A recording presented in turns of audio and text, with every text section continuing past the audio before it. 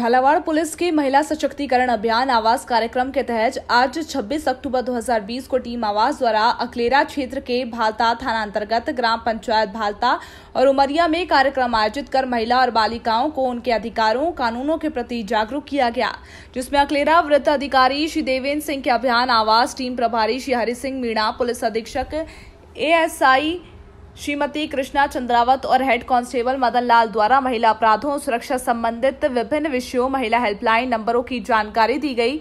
महिला self defence trainer, महिला पुलिसकर्मी श्रीमती हेमलता और रेखा द्वारा आत्मरक्षा के तरीके सिखाए गए। हेड कांस्टेबल श्री कैलाश चंद ने महिलाओं संबंधी साइबर सोशल मीडिया अपराधों और उनके बचाव की जानकारी दी। थाना अधिकारी भाता श्री राजपाल सिंह ने महिलाओं को उनके विरुद्ध होने वाले अपराधों के प्रति आवाज़ उठाने के लिए प्रेरित किया। कार्यक्रम में भालता सरपंच श्रीमती सुनीता बाई, उमरिया सरपंच श्री अनार सिंह सहित दर्जनों आंगनबाड़ी कार्यकर्ता, आशा सहयोगिनी, महिला स्वास्थ्यकर्मी, विभिन्न महिला समूह संगठनों की कार्यकर्ता, छात्राओं और बालिकाओं ने हिस्सा लिया। झालावाड़ से संवाददाता आशी मंसूरी की रिपोर्ट।